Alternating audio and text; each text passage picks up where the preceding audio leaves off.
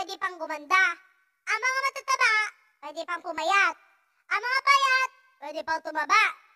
Pero yung pangit na ugali mo, sis, wala nang lunas dyan. Uy, sis, ang ganda mo talaga. Ha? Ito naman, di kaya. Eh di hindi. Ang ang arte nito. May mga babae talaga sa una kala mo mataray. Pero pag nakausap ko na, malandi pala. Siya pala yung bago mo. Bakit ganon? Mukhang luma.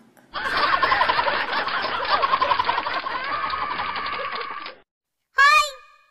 Kung wala ka naman talagang plano sa akin, wag mo na lang ako landiin, oh. Marupok ako eh, marupok. Nagre-reklamo ka kasi option ka lang. Buti ka pa nga option K. Yung iba nga, wala talaga sa choices. Ikaw ay toxic. Bossing, gitera, nasty. Chismosa, pabitib, plastic. Ayaw pa daig, what is happening? What is happening? Ikaw ay toxic. Uy, sa mga kaibigan ko dyan na pinaplastic lang ako. Mag-iingat pa rin kayo, ah. Yung kalimutang laklakin lahat ng alcohol at kainin lahat ng safeguard. Love you!